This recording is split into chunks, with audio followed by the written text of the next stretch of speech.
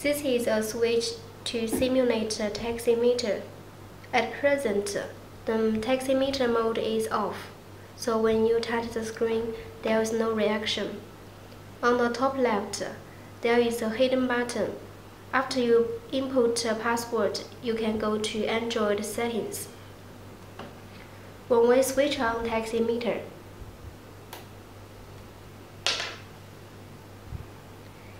you will go to the advertising screen.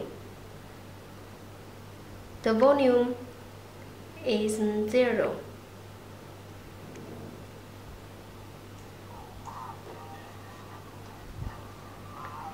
On the top left is an I button for more information. Below the video is scrolling news.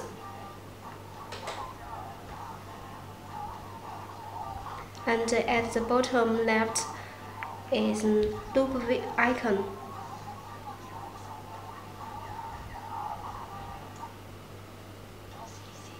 There links with a video for each icon. ACTU is an RSS news.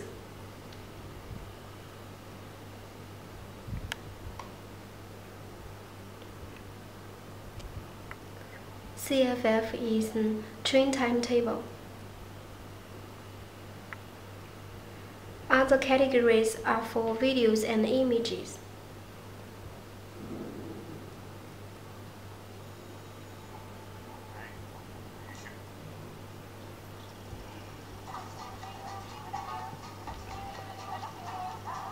When you press the power button, you go to standby mode.